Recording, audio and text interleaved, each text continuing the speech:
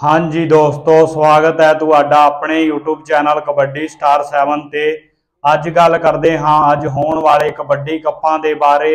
ਅੱਜ ਦਾ ਪਹਿਲਾ ਕਬੱਡੀ ਕੱਪ ਪਿੰਡ ਮਚਾਕੀ ਖੁਰਦ, ਜ਼ਿਲ੍ਹਾ ਫਰੀਦਕੋਟ, ਜਿੱਥੇ ਕਬੱਡੀ ਓਪਨ ਤਿੰਨ ਬਾਰੋਂ ਪਹਿਲਾ ਇਨਾਮ 61000 ਦੂਜਾ ਇਨਾਮ 41000 ਤੇ ਬੈਸਟਾਂ ਨੂੰ 11 11000 ਰੁਪਏ ਹੋਣਗੇ। ਇਸ ਤੋਂ ਅਗਲਾ ਕਬੱਡੀ ਕੱਪ ਪਿੰਡ ਕੋਂਕੇ ਕਲਾਂ, ਜ਼ਿਲ੍ਹਾ ਲੁਧਿਆਣਾ ਜਿੱਥੇ ਕਬੱਡੀ ਓਪਨ ਦੋ ਬਾਰੋਂ ਪਹਿਲਾ ਇਨਾਮ 41000 ਦੂਜਾ ਇਨਾਮ 31000 ਤੇ ਬੈਸਟਾਂ ਨੂੰ 21 21000 ਰੁਪਏ ਦਿੱਤੇ ਜਾਣਗੇ।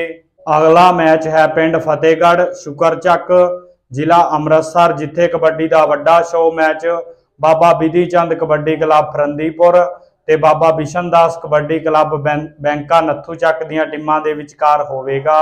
ਅਗਲਾ ਮੈਚ ਹੈ ਪਿੰਡ ਅਲਗੋ ਖੁਰਦ ਜਿੱਥੇ ਕਬੱਡੀ ਦਾ ਵੱਡਾ ਸ਼ੋਅ ਮੈਚ ਕਰਵਾਇਆ ਜਾਵੇਗਾ, ਇਸ ਤੋਂ ਅਗਲਾ ਕਬੱਡੀ ਕੱਪ ਪਿੰਡ ਜਰਮਸਤਪੁਰ ਜਿੱਥੇ ਕਬੱਡੀ ਦਾ ਵੱਡਾ ਸ਼ੋਅ ਮੈਚ ਕਰਵਾਇਆ ਜਾਵੇਗਾ। ਜੇਕਰ ਤੁਹਾਨੂੰ ਵੀਡੀਓ ਵਧੀਆ ਲੱਗੀ ਹੈ, ਤਾਂ ਵੀਡੀਓ ਨੂੰ ਲਾਈਕ ਤੇ ਸ਼ੇਅਰ ਕਰੋ। ਕਬੱਡੀ ਦੀ ਹੋਰ ਅਪਡੇਟ ਲਈ ਸਾਡੇ YouTube ਚੈਨਲ ਨੂੰ ਸਬਸਕ੍ਰਾਈਬ ਕਰੋ। ਨਾਲ ਹੀ ਬੈਲ ਆਈਕਨ ਨੂੰ ਜ਼ਰੂਰ ਪ੍ਰੈਸ ਕਰੋ, ਤਾਂ ਕਿ ਆਉਣ ਵਾਲੀ ਵੀਡੀਓ ਤੁਹਾਡੇ ਕੋਲ ਸਭ ਤੋਂ ਪਹਿਲਾਂ ਪਹੁੰਚ ਸਕੇ।